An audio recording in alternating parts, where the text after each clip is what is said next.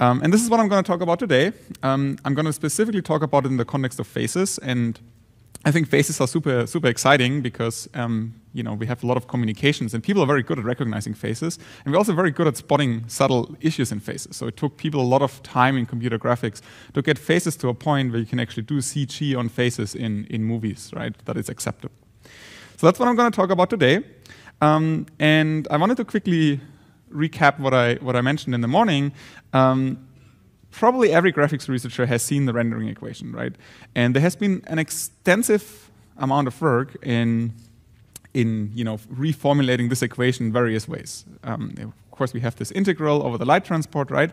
Um, and the challenge, of course, is to make it fast, make it tractable, but the theory behind this equation has been very well understood by now. So if, you, if you're doing rendering, the theory of rendering is mostly there. So we know how to take 3D models, right? We know how to take, in this case, we have a subdivision surface mesh, right? Um, we, we subdivide it, we, we create the, the limit surface, um, this is for avatar, right? We can texture it, we can render it, we shade it, we compute the lighting and so on. So there's various ways, again, how to evaluate the rendering equation, but in principle, the theory behind it is, is always very similar. We're simulating the light transport there. Um, and I would argue rendering has matured to, to, a degree where it's actually ready, right? We can do cool stuff with it. Um, the main challenge is, however, in current movies and games, is not to do the rendering itself. Typically, if you look at the credits of a movie, you see like three, four guys who looked at the rendering, and you see like 500 artists who created the content. So it's all about the content, actually.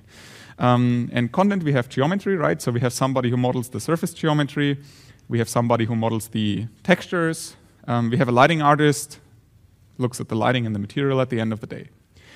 And the question is always now, especially for AR, VR, how do we get this content? Because we, we can't hire 500 artists if we want to have a phone call and just chat with each other to hire somebody who models a face to do novel viewpoint synthesis, right? We can't do that, so we have to do it automatically.